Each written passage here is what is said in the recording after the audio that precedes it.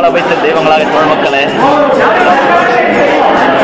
உங்களை எல்லாம் பார்க்கறதுக்கு நான் இங்கே வந்திருக்கேன். ரொம்ப சந்தோஷமா இருக்கு. முதல்ல பாலா என்னை இங்கே கூப்பிட்டப்போ இல்லை இல்லை வேண்டாம் பாலா. நான் இந்த மாதிரி ஃபங்க்ஷன் எல்லாம் அட்டன் பண்ணது இல்லை அப்படின்னு சொன்னேன்.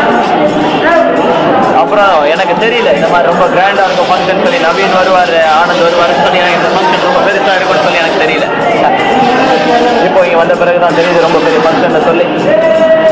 இன்னைக்கு சூப்பர் ஸ்டாரா இருங்க இருங்க இருங்க. முதல்ல பெர்மிஷன் வாங்கணுங்க பெரியவங்கள்ட்ட சிரிச்சார் சிரிச்சார் thank you sir yes sir with your permission super ஸ்டாரா இன்னைக்கு இந்த இடத்துல இந்தியா ஃபுல்லா இருக்கிற எல்லாரும் திரும்பி பார்க்குற ஒரு உயரத்துல இருக்கிறதுக்கு காரணம் கடவுளா திறமையா அதிர்ஷ்டமா? டெஃபினட்டா டெஃபினட்டா கடவுளோட அனுகிரகம் தான்